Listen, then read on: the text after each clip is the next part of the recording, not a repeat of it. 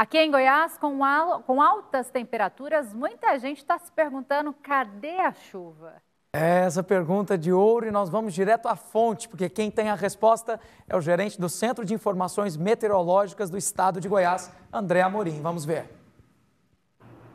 A forte onda de calor que vem atuando na semana passada e nesta semana, aqui em Goiás e no Brasil, está com seus dias contados. Né? Temos aqui esse mapa de temperatura que demonstra realmente a atuação dessa forte onda de calor. Mas ela vai perdendo intensidade gradativamente. Até sábado teremos aí sim temperaturas elevadas e umidade relativa baixa. Mas a partir de domingo, com o avanço de uma frente fria para a região sudeste do Brasil e o alinhamento também com umidade vindo da Amazônia, vai propiciar a formação deste corredor de umidade.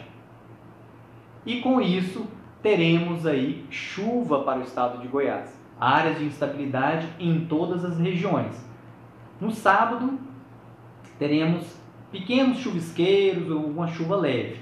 Mas para o dia 12, segunda-feira, é, esse cenário se concretiza da, de uma melhor maneira. Sim, teremos mais chuvas mais distribuídas por todo o estado.